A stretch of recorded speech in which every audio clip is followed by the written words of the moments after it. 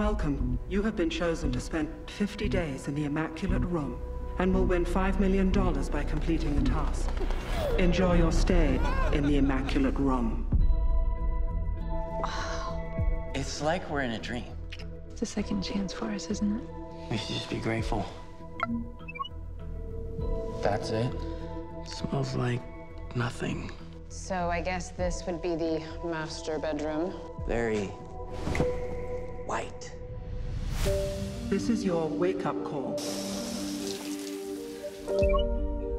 Why do you think he's doing all this? Professor Voyam. All anyone knows about him is that he's got more money than God and that he's intrigued by the human condition. It is midday. I hate that clock. It actually went backwards. Mikey? Michael! How'd he get in here? They're just messing with us, right? I read that we can take a trade. Hey, so like what happens in here? And she just walked out. I did not know. This is gonna be fun.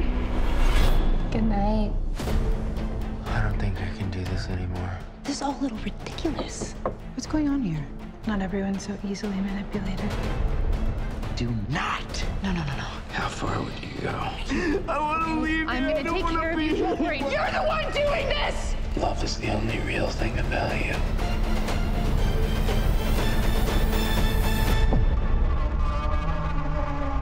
Enjoy your stay